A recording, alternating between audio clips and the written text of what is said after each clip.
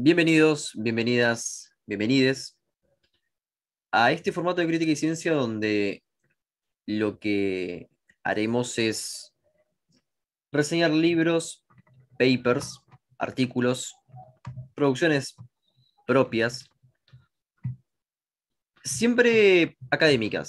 La idea, de nuevo, de nuestro centro de estudios, como siempre lo reiteramos, es producir contenido académico que pueda quitarnos de la burocratización académica, primero, en el sentido de que cada departamento de determinada disciplina, por decirlo rápidamente, no se comunique con otra. Y en segundo lugar, tratar de volver a preguntas fundamentales, a pensar sobre ontología, sobre nociología, metodología, y desarrollar un sistema, o por lo menos un abordaje científico que consideramos original. Mientras tanto, comenzamos con una de las, primeras reseñas que estaremos haciendo, en este caso a los 60 años de, bueno, 61, pero digamos que 60, ya que fue en el 2022 su, su aniversario, del pensamiento salvaje de Claude de Strauss. Bueno, esto es, es básicamente un paper mío, eh, pronto a publicar, eh, que está, bueno, está sujeto a actualizaciones, pero em, realmente eh, se podría decir que el, núcleo de mi argumentación está en, las diapositivas que, que continuarán. ¿Por qué una impostura intelectual? Bueno, porque creo que es importante aclararlo. Es muy importante considerar que Levi-Strauss utiliza fuentes que no son fiables. En consecuencia, uno puede pensar o que es ingenuo o que está forzando el argumento para que efectivamente sea congruente con lo que él piensa que tiene que ser. No creo que sea tan ingenuo realmente como para utilizar como de buena fe una novela para hacer una aseveración científica, entre otras, entre otros atropellos, digamos. Así que em, opto por la cuestión de impostura. Mm, por otra parte, eh, sí contemplemos que Levi Strauss, por lo menos, contrario a el, el ataque postmoderno que vendrá después, al menos se preocupó por intentar desarrollar un sistema científico que permite explicar la realidad. Eh, los resultados fueron catastróficos, pero bueno, al menos lo intentó. Comenzamos. Bueno, los principales problemas de Claude Lévi-Strauss, CLS, abreviado, 1962 es el año de publicación del Pensamiento Salvaje. El primer problema es que el autor carece de fuentes suficientes para sostener sus premisas. La segunda es que parte de un pseudo problema. No existe una división entre el pensamiento salvaje y el occidental. Eso ya es suficiente como para empezar mal un libro, o un trabajo, o un problema. ¿sí? Eh, o en todo caso, asumiendo o interrogando de si existe un pensamiento salvaje, em, la manera en la que lo hace Levi Strauss es para efectivamente caer en un primitivismo, como lo veremos. Es decir, en cierta manera podemos observar un deseo del autor como una fachada científica. Eh, lo desarrollaré en breve. El punto número tres es la aleatoriedad con que se relacionan mitos. Es decir, Levi-Strauss sostiene que los mitos estarían representando ciertas estructuras elementales. Levi-Strauss confunde permanentemente eh, los términos entre estructura y sistema. Pero fuera de eso, eh, levi lo que sostiene es que estos mitos se podrían concatenar de alguna manera y por un pensamiento binario, o más bien este, dual, eh, de oposiciones. Y por alguna razón, esto eh, permitiría conocer este, la estructura de los mitos. Entonces, si conocemos la estructura de los mitos, claramente tendríamos un carácter de predictibilidad. Bueno, e, esto no es así. Las asociaciones que encuentra Levi-Strauss son invenciones propias de él. En consecuencia, lo que encontramos es un argumento que parece sólido, pero esto es simplemente por la habilidad retórica que tiene Levi-Strauss para poder eh, construir su argumento. Bueno, el aniversario número 60 del pensamiento salvaje no llamó eh, a una crítica em, reflexiva que por supuesto llama a invalidar este eh, a este texto y reconocerlo en, su época o como un parte de la historia de la antropología. Eh, básicamente porque las críticas son escasas o las críticas son insuficientes, digamos. No hay una, un desarrollo demasiado acabado e incluso las críticas no van hacia otras disciplinas, lo cual marca bastante.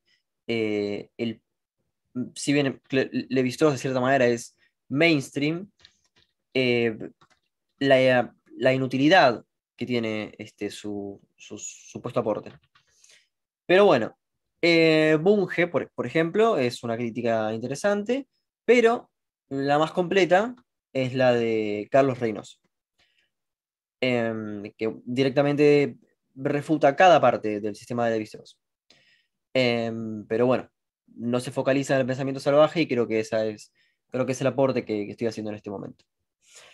Bueno, otra de las cosas de Claude levi es que em, siempre trabajó solo, siempre fue un marginal, no dejó herederos, entonces brillan por su ausencia, pero eh, bueno, además de que el estructuralismo en sí, en antropología, eh, no tiene ningún tipo de, influencia, es nula, totalmente nula.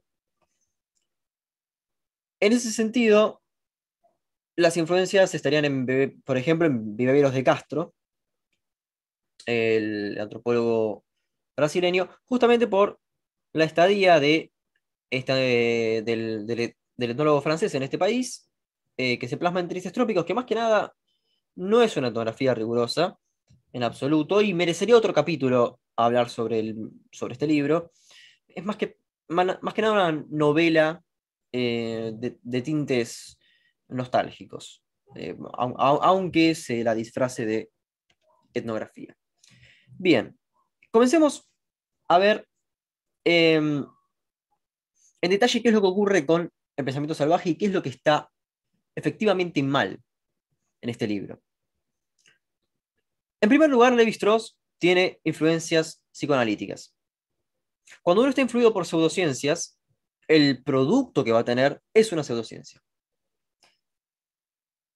La, eh, bueno, esto no está en el pensamiento salvaje, pero la influencia de Levi-Strauss eh, claramente es Freud para decir que el paso de la naturaleza a la cultura es eh, básicamente la censura a partir de el orden que la cultura particular da sobre los impulsos naturales y universales del ser humano. Bien, esto es claramente eh, hablar de un paso de naturaleza a cultura de esta manera es como poco em, escaso.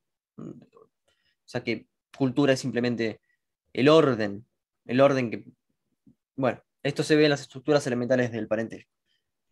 Y, em, bueno, esto daría en cierta manera una represión que sería la de, em, aunque me esté desviando por supuesto de este libro, pero vale la pena mencionarlo, em, que sería la prohibición del incesto. Bien, esto nunca ocurre. El, incesto no, no, se prohíbe, pero Levi-Strauss dice que por lo menos una parte, una una forma de incesto será prohibida. Bueno, eh, la, evidencia demuestra lo contrario. Em, y, bueno, este, por, otra parte, eh, los textos de Adam Cooper eh, refutan ampliamente lo que dice levi respecto al incesto. Y por otra parte, eh, Levi-Strauss niega la hipótesis de Westermarck respecto a no tener relaciones sexuales con las personas con las que uno se crió que es, una, es básicamente una teoría este, con, consenso. Bueno, Levi-Strauss la, rechaza. Retomando el pensamiento salvaje, Levi-Strauss considera en esta pero con más influencia de Carl Jung en este sentido, es un jungiano, por decirlo de alguna manera, que hay un inconsciente humano. La idea de inconsciente humano em, puede llegar a ser interesante en el sentido de que, bueno, hay procesos cerebrales que, que, sí existen, pero eh, Levi-Strauss no los explica, simplemente dice inconsciente humano. Lo cual nos, lo relacionamos con el psicoanálisis y eso carece de validez científica. El psicoanálisis no tiene efectividad, solamente puse un paper, puede haber puesto más, más para, para demostrarlo. Bien, la estructura mítica a la que se refiere Levi-Strauss no es un fenómeno de la mente humana. No es simplemente una creación espontánea. Es el resultado de las relaciones materiales en las que se encuentran los individuos. El abordaje idealista lo lleva a desarrollar interpretaciones aleatorias, porque nunca, nunca considera, jamás, eh, básicamente eh, las condiciones reales, materiales, por las cuales estos, estas sociedades desarrollan mitos. No, son mitos aislados que se relacionan entre sí. Bueno, esto no tiene sentido. Bueno, una de las grandes apuestas de Lévi-Strauss es la ciencia de lo concreto. En este apartado, lo que busca demostrar Lévi-Strauss es cierta sapiencia de los pueblos primitivos que no se encontrarían en las sociedades industriales. Em, bueno, claramente sostiene lo contrario en la equiparación magia-ciencia. O sea, si hay magia que es igual a ciencia, entonces eh, el conocimiento es el mismo. De cualquier manera, siempre podremos ver que para Claude Vistos el indígena posee una intuición superior, una sabiduría supuestamente inefable para el hombre occidental. Y como prueba, tengo una cita de, justamente, la página 30. Cuando cometemos el error de creer que el salvaje se rige, exclusivamente por, sus necesidades orgánicas o económicas, aquí está criticando a Durkheim, no nos damos cuenta de que nos dirige el mismo reproche y de que a él su propio deseo de conocerle parece estar más equilibrado que el nuestro. Muy bien, ¿cómo prueba esto Levi-Strauss? No hay manera. Caemos entonces en el buen salvaje rusoniano. Entonces, Em, como dice Levi-Strauss en De cerca y de lejos, Rousseau, el más antropólogo de los filósofos. Em, ¿cómo, podríamos sostener esta cuestión de que conocen mejor? Bueno, em, si conocen mejor y hay un buen salvaje, esto nos llevaría casi como que habría una especie de armonía de los pueblos primitivos. Estos eh, pueblos primitivos les digo entre comillas, por supuesto. Em, cuando el autor, cuando Levi Strauss habla de el salvaje, habla del salvaje en general, no está dando evidencias de la población. Em, lo podemos ver básicamente con lo que Marvin Harris demuestra respecto al, potlatch de los Quackutl, es decir, a este, deshacerse de, bienes preciados em, en un hecho social total para otra tribu. Eh, solo es posible esto porque la población fue diezmada con el advenimiento occidental. En consecuencia, esto es material. Esto es un problema materialista, no es un problema idealista como lo está sosteniendo Levi Strauss. Bien. Eh, Dalton, en 1962, había firmado lo opuesto a Claude Lévi-Strauss. No es un año antes, es el mismo, es el mismo año, me corrijo. Entonces, em, no hay evidencia, realmente. Em, supuestamente los aborígenes hawaianos, notemos que la evidencia es un único caso, utilizarían la totalidad de sus recursos no sabemos cuáles son esos recursos, sin provocar desastres naturales como en Occidente. Todo lo contrario ocurre con las tribus americanas, simplemente basta ver con, eh, bueno, eh, otros papers, tan, simple como eso. Y es claramente, eso es más que obvio, es una verdad de perogrullo, que una sociedad no industrial va a provocar menos desastres. Eso es más que claro. Pero las herramientas de la ilustración son las que nos permiten cuestionarnos este tipo de cosas. En fin, la, ingenuidad de Claude Lévi-Strauss este, nos lleva a que esta intuición indígena se sostiene solamente con un único texto que es el de eh, Handy y Pucuy, espero estar pronunciándolo bien, y no tiene otra fuente para eso. Bien. Veamos una asombrosa afirmación de la página 17 que dice lo siguiente.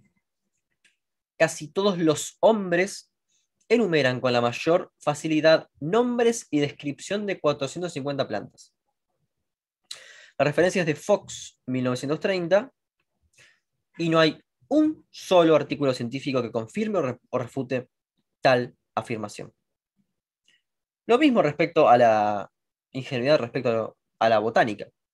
Si un pueblo conoce a su flora y fauna, supongamos, es claro que alguien foráneo que no la conozca, efectivamente no la va a conocer, y quien la conozca tendrá mayor familiaridad con la flora y la fauna. Es tan simple como eso. Pero supuestamente para Levi es un punto fuerte respecto del pensamiento concreto. Bien. Em, esto no ha sido notado, o al menos no lo he visto en ningún lugar, pero lo he visto en la página 19.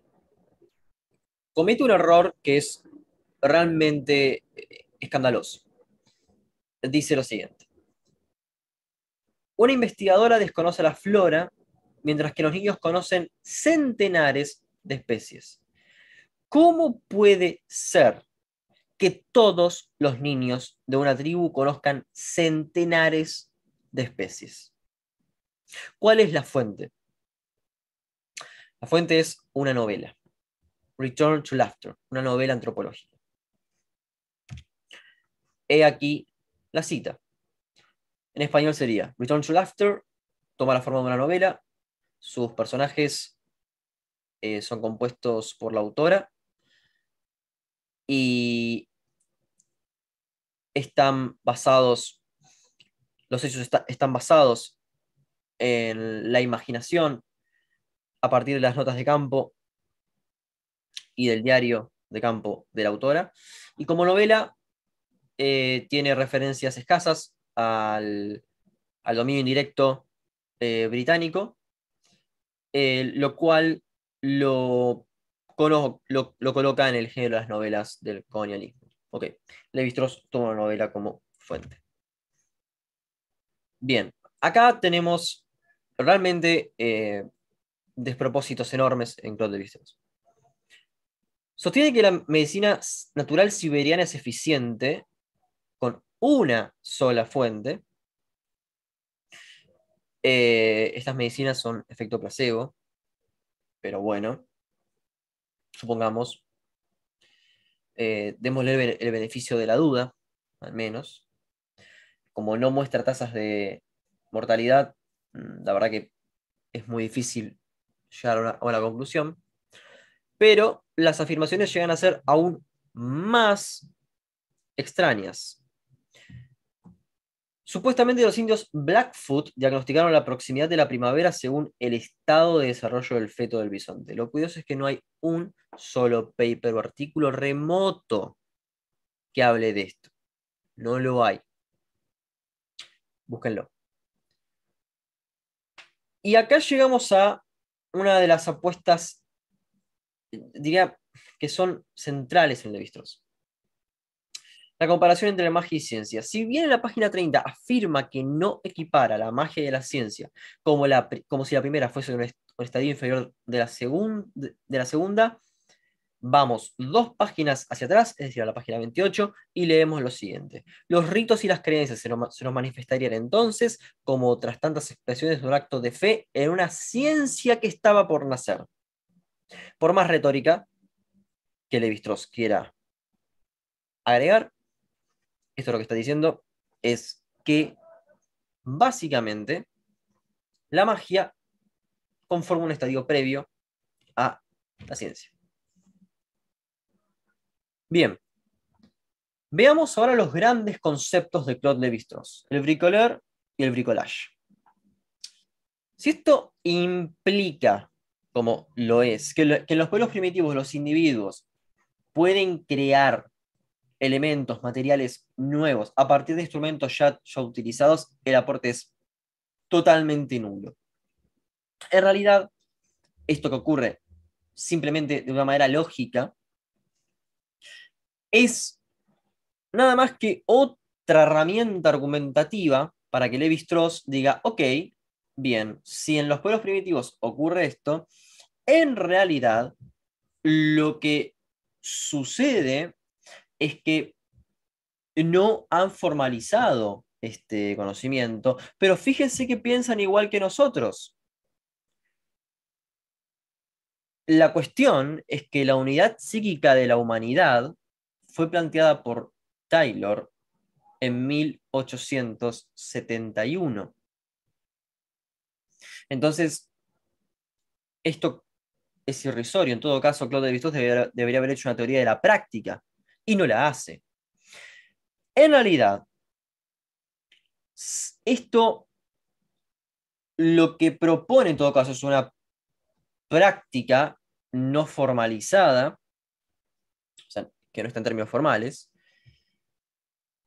pero lo que lleva en realidad es a sostener que el pensamiento salvaje opera por antinomias, por dicotomías binarias. Y acá lo que se usa es la magia también como una expresión de esta, eh, de esta suerte de bricolage. Bien. Em, es curioso porque es un reduccionismo psicologista, es decir, todo se reduce a estas, a estas supuestas analogías y paralelismos de, fabrica Claude Lévi-Strauss. Veamos esta cita de la página 41. El pensamiento mítico, aunque esté embiscado en las imágenes, puede ser generalizador y por tanto científico. Esto carece de sentido.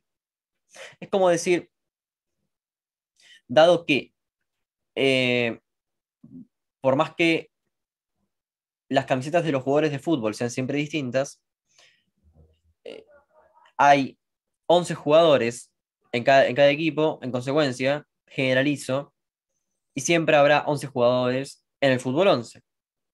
Por ser generalizador, ese pensamiento no, es científico.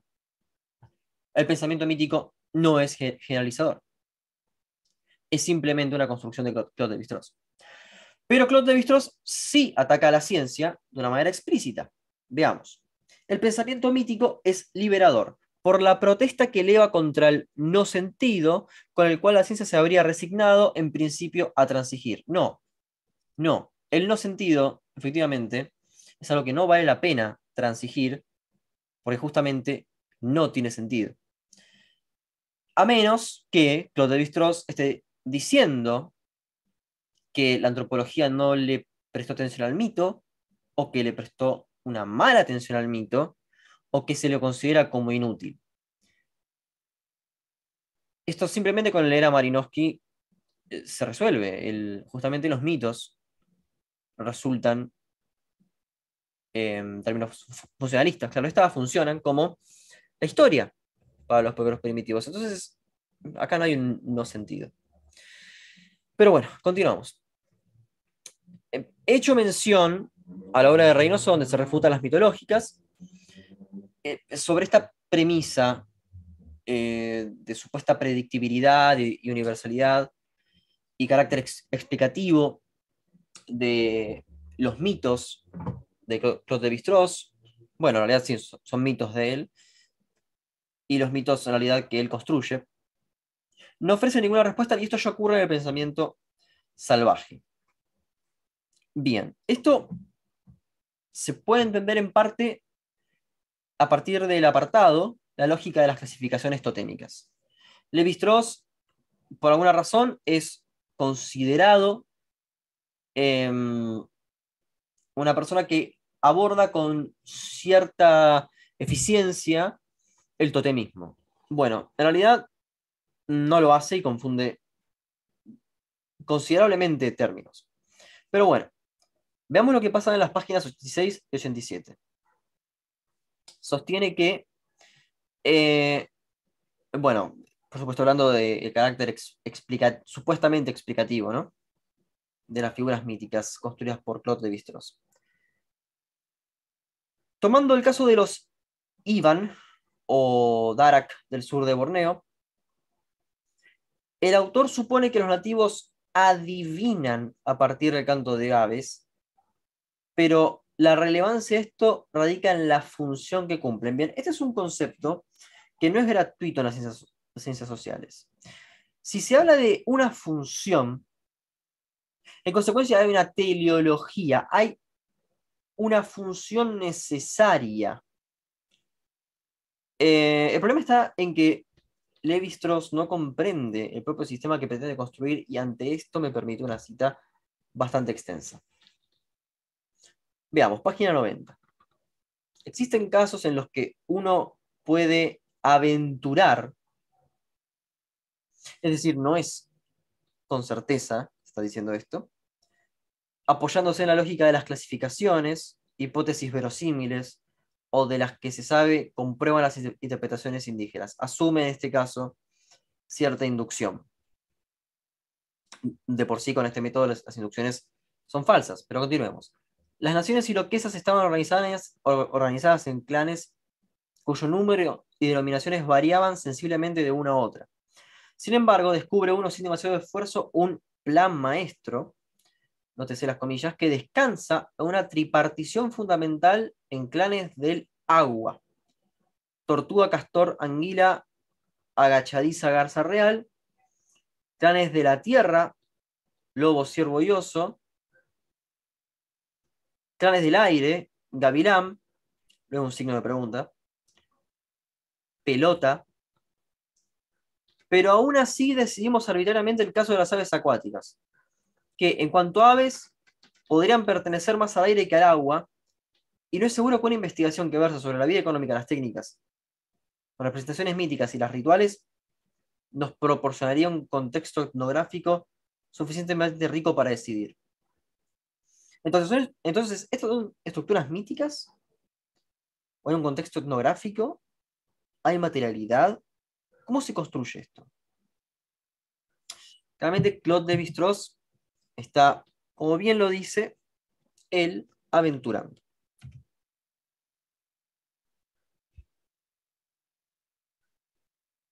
Bueno, em, este error lógico desmonta cualquier intención de que el mito pueda dar explicaciones universales. Es decir, las aves pertenecerían al aire porque al autor se le ocurre. De esta cuestión descartamos también la vaguedad de esta noción de plan maestro. Pero hay afirmaciones aún más curiosas, como la atribución de propiedades relacionales. En este sentido, se puede decir que eh, los indios Ojibwa tienen como tótems el, águila y la ardilla. Bien, y como el autor relaciona a los animales según los árboles que frecuentan, entonces existe una relación necesaria entre la ardilla y el árbol. Bueno, no hay ningún mecanismo lógico, porque la ardilla también podría estar en el, en el suelo eh, y se le daría ardilla y suelo. Em, o simplemente estaría atravesada por aire y se podría decir ardilla y aire. No tiene sentido. Pero bueno. Em, continuando. Em, recupero la crítica que hace Reynoso sobre el uso de código en la Levi-Strauss. El etnólogo nunca establece relaciones causales que permitan descifrar ese supuesto código. El, totemismo para Claude Levi-Strauss es una comunicación por códigos. Veamos el caso de la ardilla y el árbol. ¿Qué conexión hay entre ellos? Bueno, la que el autor disponga. No hay ninguna conexión. Porque no existe tal código. Está definido, no hay un código formal en el que uno pueda encontrar las relaciones entre los diferentes términos, no lo, no lo hay. Simplemente hay clasificaciones arbitrarias. Entonces tuvimos por verdadero que una sociedad divida especies animales, áreas geográficas o sabores en oposiciones binarias. Bien, eso no implica nada. Desde ya puede haber frío, calor, luna, sol. Esto no es ninguna explicación. Pero acá tenemos otro caso grave de totemismo levistrosiano. Los indios Fox en su ceremonia de inhumación solo tienen comunicación entre quienes entierran al difunto mientras que el resto no emite una palabra. ¿eh? O sea, en este razonamiento de Claude Vistros hay una oposición entre, entre palabra, mudez, ruido, silencio. Esto es realmente eh, eh, sorprende por la obviedad. Creo que no merece contestación. Pero veamos el marco psicoanalítico de, Claude de Ya que para él existen arquetipos, siguiendo a Carl Jung, o un inconsciente colectivo, teoría sin validez para la época. Skinner justamente critica esto, entre otros.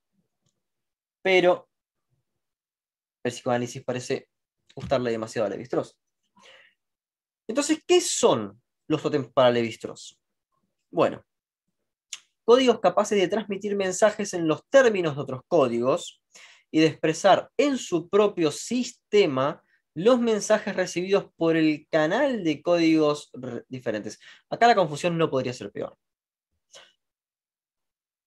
Y no hay definición de sistema, como tampoco hay definición de una estructura.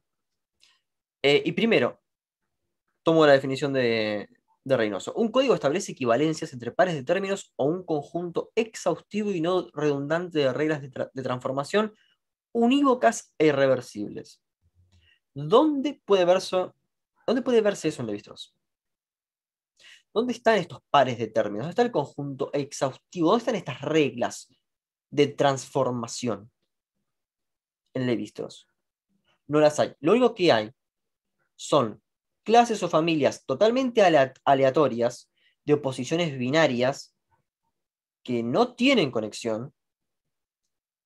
En consecuencia, son clasificaciones construidas por el propio autor sin ningún nexo. No hay ningún nexo lógico. Hay un código, como el código Morse. No hay ningún código en este sentido. Pero bueno, continuando. Es Notable en el apartado categorías, elementos, especies y números, que se divide en otros apartados, pero lo llevaré a ese. Em, de nuevo, acá em, las taxonomías zoológicas y botánicas pertenecerían a categorías universales, a lo que es obvio, es obvio, ya que están ahí más allá de lo que pensemos sobre ellas. Em, pero eh, esta, universalidad no está dada por esta cuestión, sino más bien por pertenecer a una clase de opuestos o dicotomías sucesivas que garantizan la unidad. Bueno, a esta altura ya eh, podemos descartar esto. Pero veamos, eh, esta, esta, parte es realmente asombrosa. Dice levi el universo está representado en forma de continuum compuesto de oposiciones sucesivas. Eh, bueno, esto está tomado de la lingüística de Saussure. Em, la creatividad acá es, deslumbrante porque sostiene que todas las tribus tienen campamentos circulares, entonces deben dividirse en dos. Deben, no hay evidencia empírica, deben dividirse en dos. Eh, el autor está confundiendo nuevamente clases, familias, grupos, con sistema, estructura, modelo y código. No está manejando ningún lenguaje formal y lo que está haciendo es agrupar cosas que para él se parecen o tendrían alguna relación. Veamos esta parte que es realmente increíble. Em, la biología permitiría considerar los atributos de especies, entonces entenderíamos la fascinación antropológica por el mito, una, realmente una oración sin sentido. Bueno, increíblemente lo elemental de que una sociedad oponga lo alto a lo, bajo parecería ser una ley universal. Em, eso es más que obvio, lo alto con lo bajo. Pero bueno. Em, veamos la relación lógica de Levi-Strauss. Si los Delaware tienen tres grupos de clasificación, lobo, tortuga y pavo, entonces su correspondencia con la tierra, el agua y el aire es clara. Muy bien es clara. Esa es la relación necesaria que encuentra el strauss Es clara. Ok. Em, de nuevo, no hay fuentes. Em, incluso levi llega a afirmar que por momentos no encuentra respuestas. Y esto ya debería invalidar este supuesto sistema lógico. nuevamente, en el tiempo recuperado, otra sección del libro, estamos viendo esto, de nuevo esta cuestión de la dualidad. Bien. Esto en realidad está hecho para justificar la ciencia de lo concreto, de nuevo, y para disfrazar el primitivismo de ciencia. Esto no responde a otra cosa que a un filósofo que cita levi por lo menos varias veces, o, algunas, digamos, que es Henri Bergson. Acá claramente tenemos una cuestión de irracionalismo bergsoniano, em, donde levi Strauss, bueno, ya vimos el ataque a la, a la ciencia, se deja llevar, básicamente por, por sus propias construcciones respecto a lo que él quiere ver en estos pueblos. Por último, no voy a reponer en la discusión entre Sartre y Levi-Strauss, pero sí haré una mención respecto a la curiosa interpretación que hace Levi-Strauss de Hegel. Sostiene Levi-Strauss que el pensamiento salvaje es totalizador. Bien, nada más alejado de lo que hubiese pensado Hegel. Hegel, por el contrario, eh, se podría decir que era bastante etnocéntrico, como se observa en, bueno, básicamente en cualquiera de sus libros, como, bueno, digamos, como filosofía de historia, historia de la filosofía, incluso en la fenomenología del espíritu. Em, lo que encontramos, eh, por ejemplo, la fenomenología del espíritu es la, la superación de las propias categorías del conocimiento en concomitancia con avances científicos. Em, Hegel nunca se refiere a los pueblos, de hecho llama pueblos sin historia em, a lo que Levi-Strauss estaría considerando.